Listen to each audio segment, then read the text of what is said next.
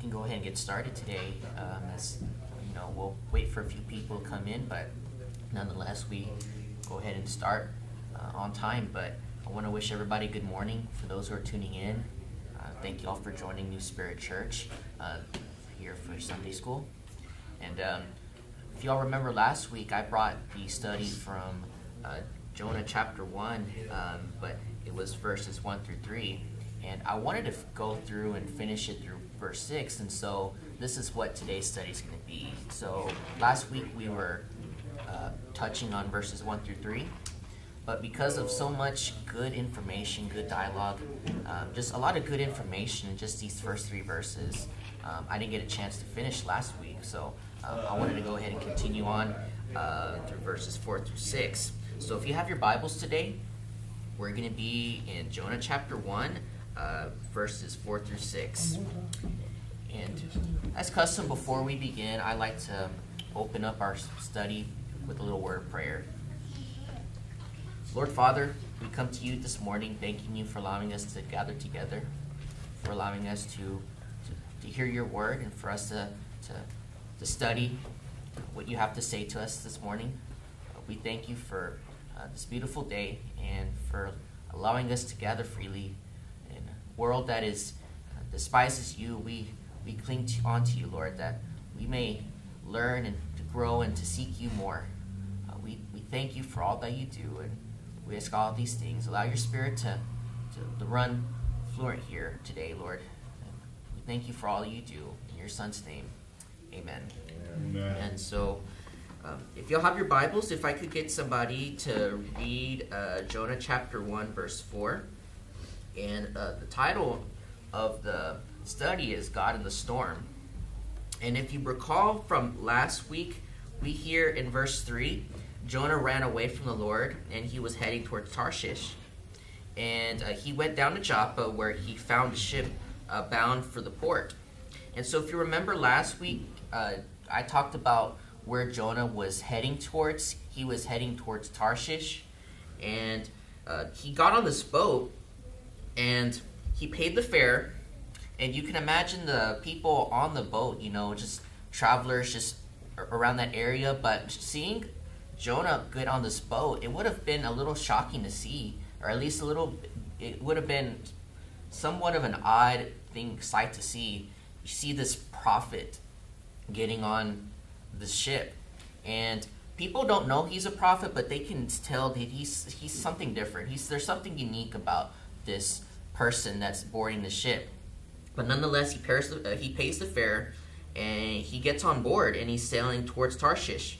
And remember where Tarshish is. If you remember from last week's study, um, Tarshish is off the west coast of Spain. And remember, at that no time, that was the furthest west one can travel. That was considered at that time the ends of the earth. If somebody wanted to go towards the end of the earth, they head towards Tarshish. And so that's exactly where Jonah was planning on going. And so Now we say California.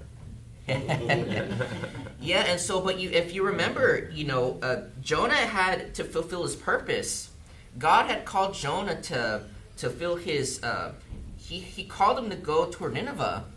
That was his purpose. He he needed to fulfill his purpose as a prophet to to go to Nineveh, and that was his mission where he needed to go to Nineveh. So you can imagine, you know, um, you know, you're you're in the army or you're in the military. The general calls you to go towards a certain destination, and you know you're not allowed to disobey orders when you're in the military. But imagine, you know, you get the orders from your higher command, and you just flee the opposite direction as far away as possible. That's basically uh, what happens here. But so you see this, he was on a, his mission was to go to Nineveh to preach uh, to Nineveh. And why was he supposed to go there? If y'all remember, you remember why he was supposed to go to Nineveh? We preach. Preach to the Yep. sinners. I mean, we're all sinners, but yeah. Yeah, because God called him to go there. God called him to go, and whenever God calls you, you better listen because God, you know, He has a way of of th- turning things around if you don't if you disobey Him. And so we're gonna we're gonna see what happens as a result of Jonah fleeing uh, towards Tarshish. And so could I get a volunteer to read verse 4? But the Lord hurled a great wind upon the sea, and there was a mighty tempest on the sea, so the ship threatened to break up. Thank you. Yeah, so your verse, um, your version says um, tent is correct. That's correct. Yeah. Uh, ESV. Yeah. So your uh, the NIV says violent storm, but either way, um, the word violent. Uh, it wasn't just so num- It wasn't just an ordinary storm here. It, this was a violent storm, and in verse four you even see great winds too. So great wind and violent storm. So this wasn't some ordinary storm that you know, you know, we see every day. This was this was sent by God. This was a God storm right here. And so God was furious with Jonah that he sent a great wind and a great storm, violent storm. And so this was God's reaction to uh, Jonah fleeing from his mission, from his from freeing what he was calling him to do. And so sometimes that happens in our lives, you know, where uh, we may be fleeing, we find ourselves in a great storm where we're supposed to be somewhere, where we're called to go to a certain place or do a certain thing. And sometimes God can send us storms in our life without ourselves knowing about it. I wonder sometimes if God doesn't just look down on us and just kind of smirk and say, "Ah, there goes Kirk again. There goes Jonah again. Well, let's let's put that wind, let's blow wind that way and get him in the right direction." Yeah, and you know what? And sometimes God will do things like that to you know humble ourselves. Mm, sometimes He needs he, he we need a dose of humility to you know to really learn from our mistakes and our lessons and you know but it could be a different it could be a variety of different things you know sometimes god will send us storms because we're we're disobeying him sometimes uh, it's the only way for us to really go back to where we're supposed to be. That's uh, whatever the reason may be you know uh, sometimes we may find ourselves in great storms in our lives. And you know if we have eyes to see we can realize what we're are, find ourselves into. One of the things that has really helped me with patience with my children is I, I do try to put myself, what, what Kirk said about, you know, does God sometimes, you know, he probably looks at us like, oh, there goes Kirk again. Well, that's how I look at my children, like, Or- there or you, sister, don't just throw it on me. And, well, you know, I mean, I it happens to me all the time. I look at my kids. I'm like, there she goes again. There he goes again. Like you know better, but there you go again. And so, just as in the moment when they're doing something that they probably shouldn't, I have to just sit there and, then you know, there's grace, right? And I'm like, okay, we're gonna deal with this, but also remember, like, you do things that God, you know, is looking down at you, like, oh, didn't I tell you not to do that? Didn't I, you know? So, um, yeah, I, I would agree with Kirk that it's he definitely looks down at us like that. Well, it happens to all of us. I look at myself sometimes, and me knowing better, I find myself going going back to you know my thoughts. You know, just kind of because what I'll do sometimes is I'll I'll go and I'll sometimes sit down and just think about what I did earlier that day. And sometimes I think to myself, what am I doing? Like, well, there I go again, you know. And that happens to the best of us sometimes, even as believers, where you know we we we stumble, we sometimes find ourselves going the opposite direction without ourselves even knowing that and you know that that happens to all of us even as believers so uh, you know just uh, don't, don't don't feel discouraged when that you know you find yourself there i mean that's it happens to the best of us and even you know to uh, non-believers as well but Is there, is there a difference between a storm and a hurricane, or like, what's worse? God's storm. yeah well you know how hur- hurricanes are usually violent storms you know Sometimes I feel all kinds of storms in my. Yeah, so I wanted to pose a question. So, why, why does God send storms? Like, wh- why, why what, what's the purpose of this storm? Of the storm that He does?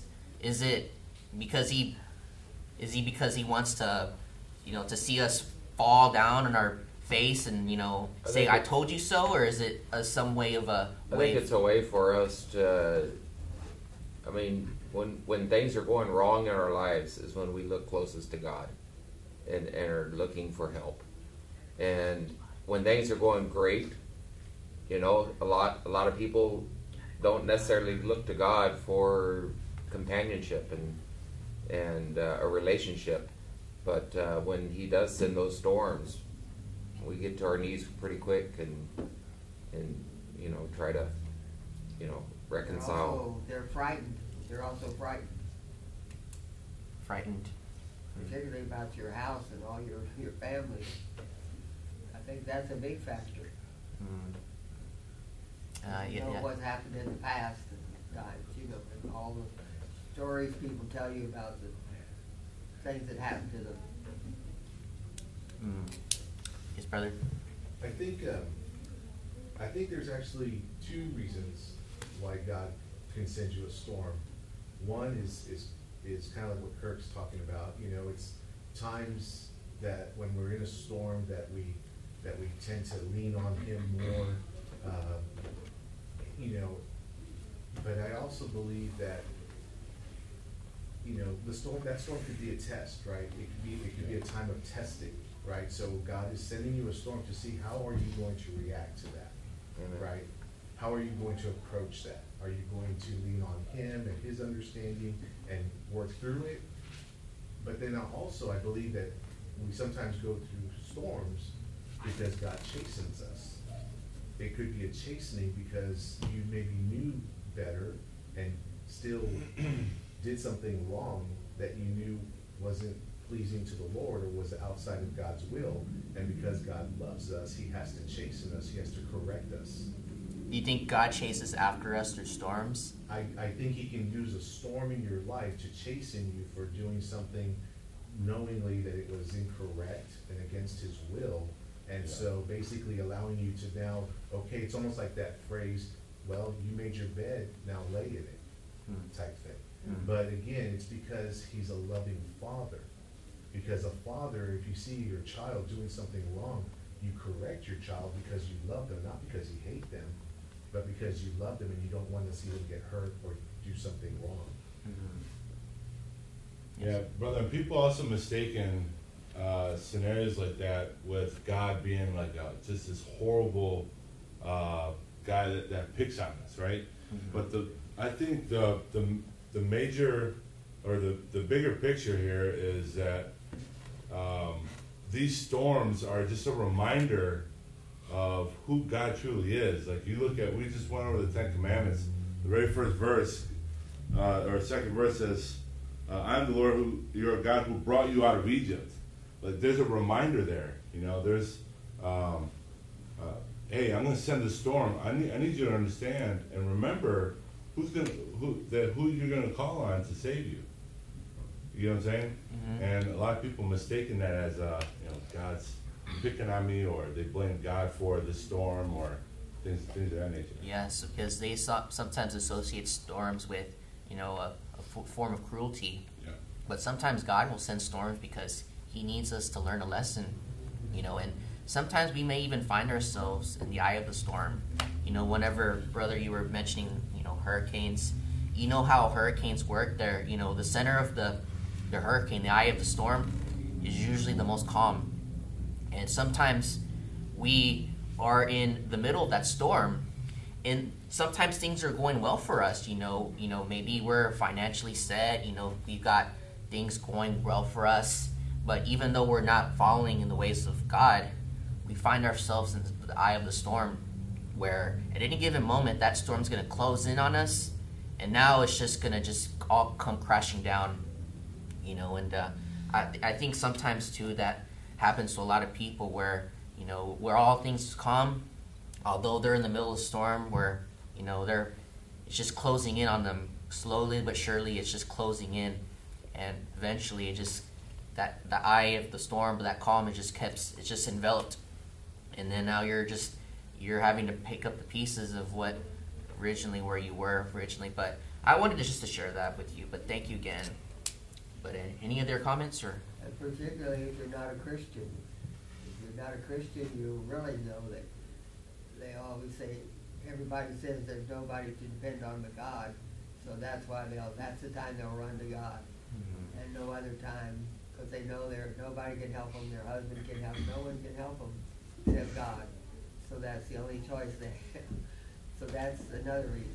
Yeah, sometimes God, uh, people will use God as a, a break glass in an emergency situation, but you know, we, we've talked about it on numerous occasions where God is not some sort of uh, get out of jail free card or you know, in case of emergency, break glass.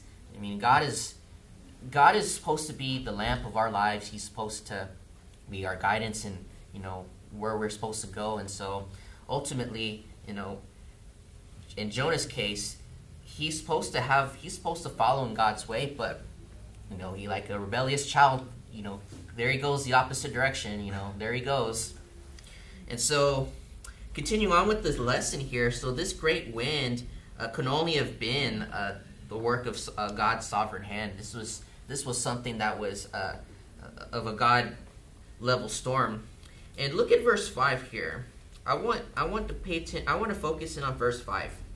And so uh, so, verse 4 Then God uh, sent a great wind on the sea, and such a violent storm arose that the ship threatened to break up. You know, that, that, that right there, the last part of verse 4, the ship was threatening to break up. Do you know how ferocious a storm has to be that the, a ship was threatening to break apart? Could you imagine how violent that storm must have been? You know, I mean, like, you you hear you see storms, you know, they the boat gets rocked back and forth, or you know, the the, the boat sometimes is you know may kind of be a little unsettled, but this storm was such violence, it almost threatened to break apart. It's almost like you can you can sense that the ship is about to come apart at the seams. We're just gonna all we're gonna all just like we're all gonna come down with this the ship in a lot of ways. In uh, verse five right here, I think it encompasses the emotions of the sailors. And so all the sailors were afraid, and each cried out to his own God. And they threw the cargo into the sea to lighten the ship. I want to I want to focus in on this, these sailors. So notice these sailors here. So remember, if you're going to Tarshish, what kind of people would venture out on that journey? Is it just any other like local fishermen, you know, just people with, you know, who just kind of just have, you know, just simple like uh, sailors. No, if you're gonna go to Tarshish, you're gonna have probably the most experienced, uh, the most seafaring people that gonna venture on that journey, and more likely this group of people were probably the Philistines. Uh, you know, and if you remember, you know, uh, throughout scripture, you see, you know, the Philistines were described as great seafarers. They were uh, Israel's most uh, ferocious enemy. You know, Goliath was a Philistine. You know, we see examples throughout scripture where, you know, these were seafaring uh, pagans. You know, these were highly skilled sailors. You know, you could have easily seen these people as like the Navy SEALs of, you know, of sailing. You know, these were hardcore sailors who had years of experience, people who have seen countless storms, who have weathered through, but this was unlike any storm they've ever encountered.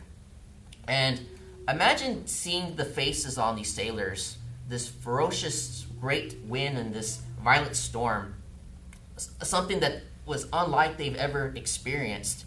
And a storm that violent that shook these sailors to their core, that brought them to the point where they had to call out to their own God. They were crying out. You can see these. Imagine this, like this hardcore, like sailor captain. This, you know, this manly, just you know, like tough as nails sailor crying out like a kid because of how how scary the storm was. I I, I want to just throw that out there. You know, just let your mind wonder about how that scene would have pictured. But yet, this was a, a God called storm, and yet uh, they were calling out to their gods. I have a comment about that. Um, I have a client that he went to, and he said this past storm, not, not this week, but the past, that he was going in his car. And this is a big guy. He, he played in college football. I mean, like, big.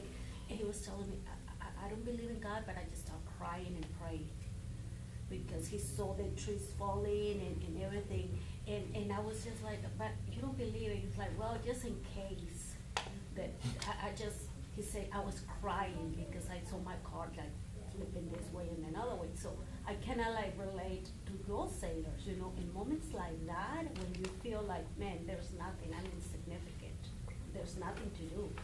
Then that's when it comes that instant that, you know, I need somebody bigger and, you know, to, to help me. I'm glad you shared that. And you know, you, you sometimes you'll see people where it's like, oh well, that that person, you know, there's nothing can scare that off that person. But all it takes is for God to intervene, and you know, you see them go crying and just in fear, you know. But that's what God does sometimes to to us, you know, where we may think to ourselves, oh, we're I'm as strong as an ox, you know, nothing can shake the foundation of you know my life, but I think God will say otherwise. Amen. And so, um, what I wanted to also pose another question.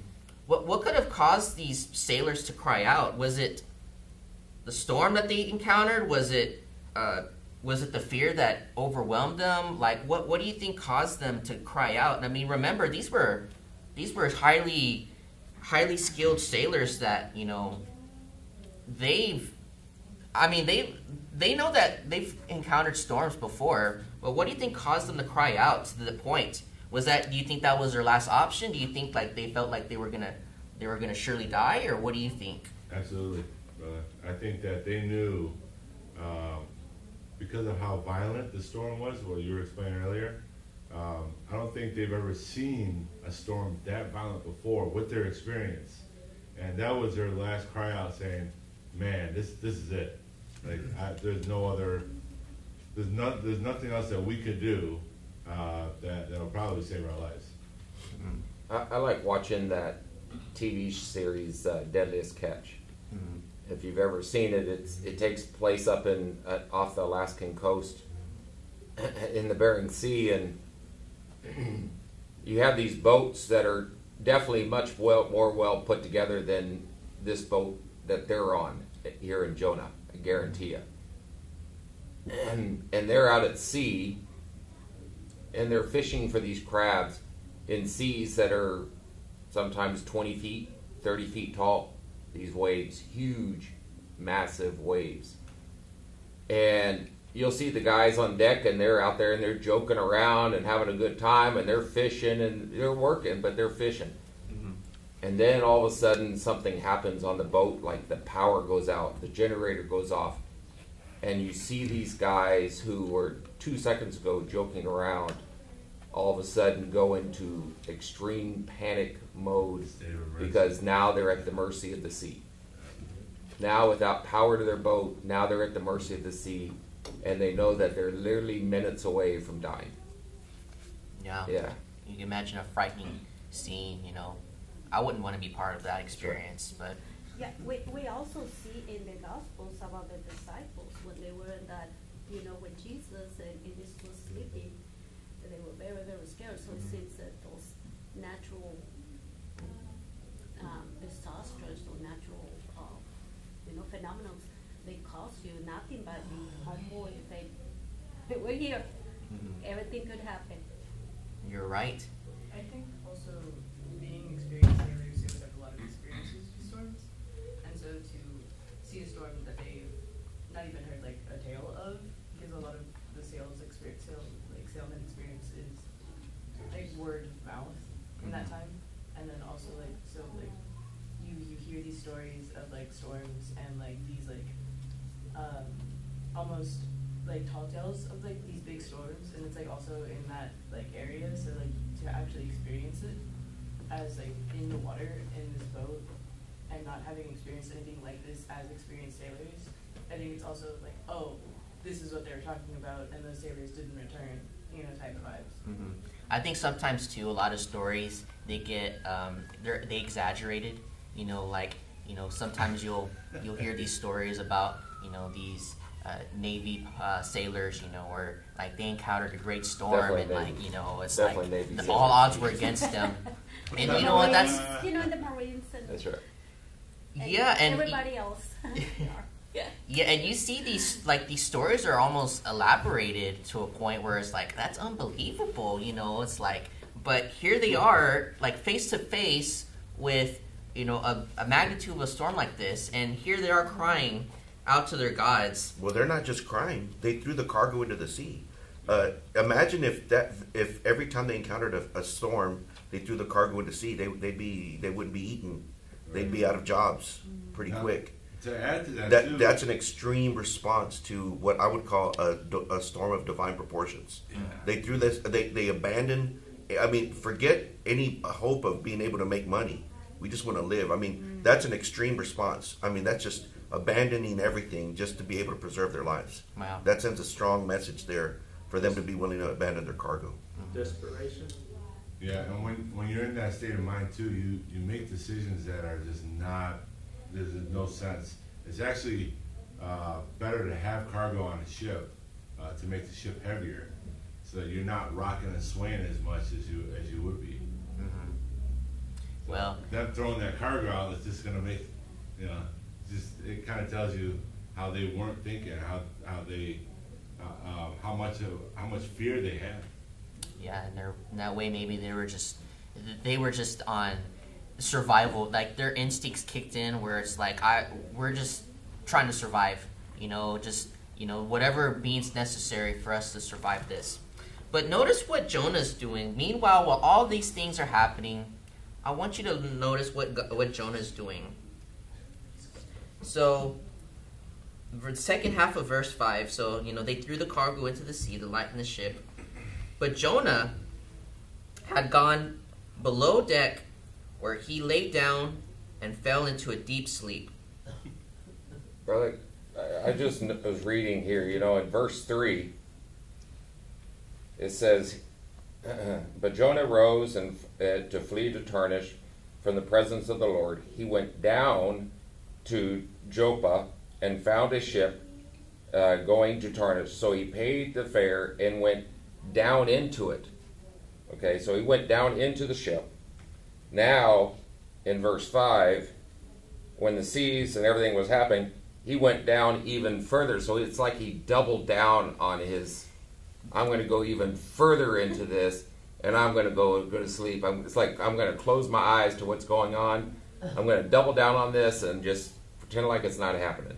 I, I, I like you how you made that connection. You see from whenever God calls Jonah, and just the dissension from where he arose when he went down to Joppa, down onto the ship, but then down below, even further onto the deck.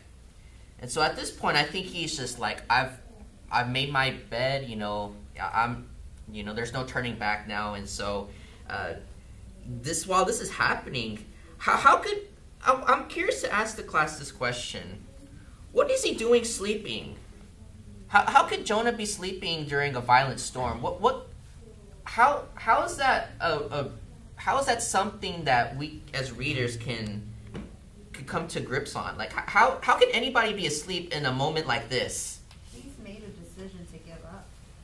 He's from the moment that he he ran away, he made a decision. I'm not listening.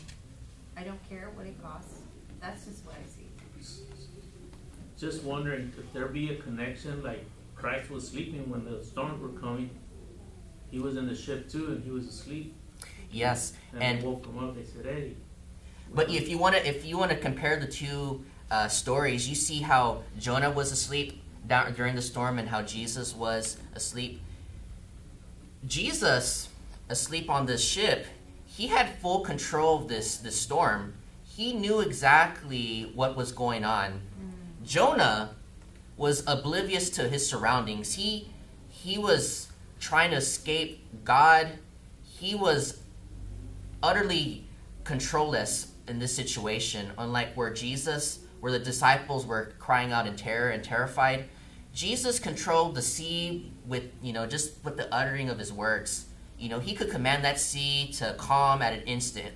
Unlike Jonah in this case, he just was just trying to just block out everything. He was descending below as furthest as he possibly could to just get away. I think I feel when that we- that's the difference. I think that when we get into sometimes when we get, really get into the thick of it, you you do you close your eyes to you know the surroundings around you and just it's almost like I'm pr- you know not pray, I don't want to use the word praying, but you're hoping that when you open your eyes back up that things will be different or changed, and, and I think he's just doubling down on on you know his running uh, from from you know his his calling, and so he's just down there and you know kicking his heels up and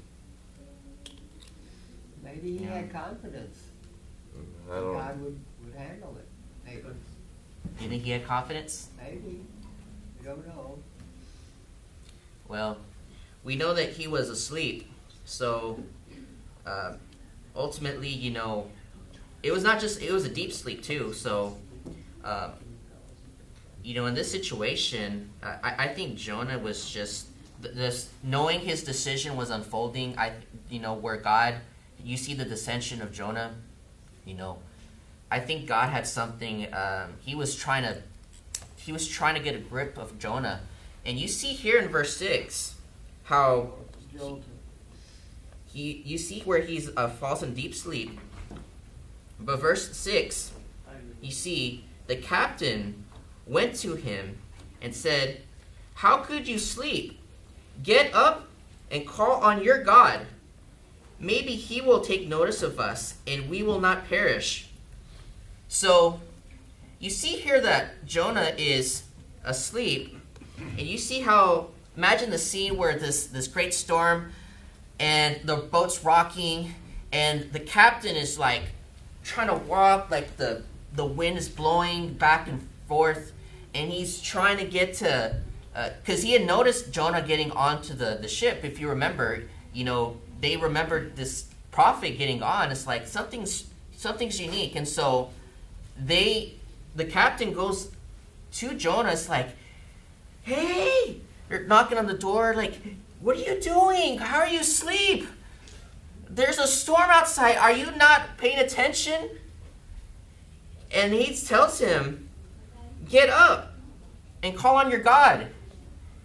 You can see uh, when you when you read verse six, it's almost in a way this is God speaking through the captain.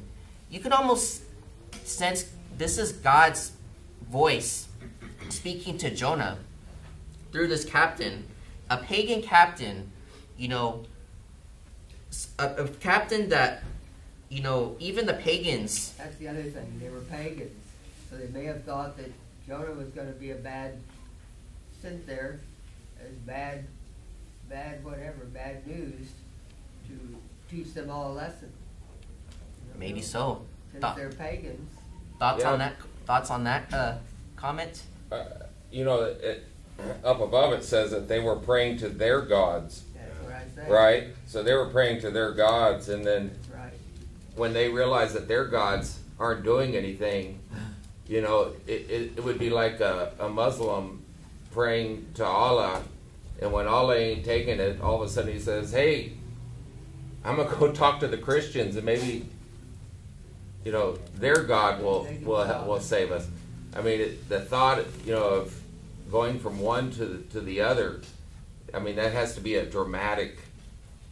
You know, that's got. I mean, I would never think in my life to go and go talk to somebody else that has a different God than me to say, hey, my God's not doing anything. Can you see if your God will do something? you know? So, I mean, they they were definitely afraid. I mean, i- and for them to, to abandon their God and, and go to Jonah, Yeah. that to ask him to please pray to his God, that, that's a that's a major event. There's a, there's a side story to this too. It's not just Jonah and the situation that's going on. It's also what I'm seeing now is also those sailors, um, because imagine because further on, I, don't want to step on your toes, brother, but further on in the verses, they end up throwing them overboard and the, and the storm calmed. Imagine what's going through their head now at that point. Oh, okay, so whose God is real now? Is it the gods that we used to worship, or is it this God that this this prophet worshipped? You know what I mean? Jonah's whole story is just the concept and in theory, it's like almost like the whole New Testament. Yeah. Like one story is like it has a lot of relationships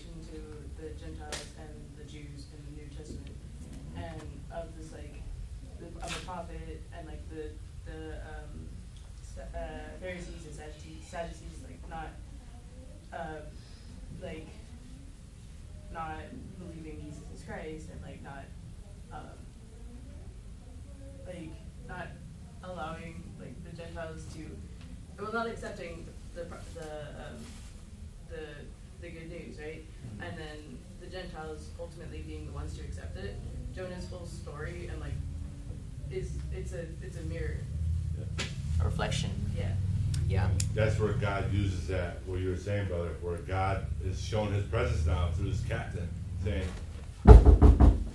know. you know, wake up, you know, I'm here. Yeah, and it, in the midst of all this, even the pagan sailors knew this was something divine, you know. And you see how God can sometimes use pagans, or people in this case, that we don't expect to get us out of our storms. You know, sometimes God will send us a certain individual or family member where they go to speak to us about, you know, the storm. And I, I, think this is a beautiful um, lesson right here, you know, where um, we see how God can sometimes use uh, the most unbelieving, uh, most pagan individual possible to speak uh, truth to us. And I, I've, I have no doubt that God was speaking through this captain to tell Jonah, you need to get up and call on your God. Maybe he will take notice on us and we will not perish. So ultimately, we see uh, right here Jonah almost getting a wake up call. You know, the little slap on the face, like "Get up! What are you doing?" You know, it's it's definitely a a, a, a real real uh, just amazing sight. You know, uh, you know from us. we see a lot of contrast. I think that when we look at it, if we look at it um, in, in, in from the aspect of of narrative context, the writer gives us a lot of clues as to what he's doing here. There's a lot of contrast, compare and contrast.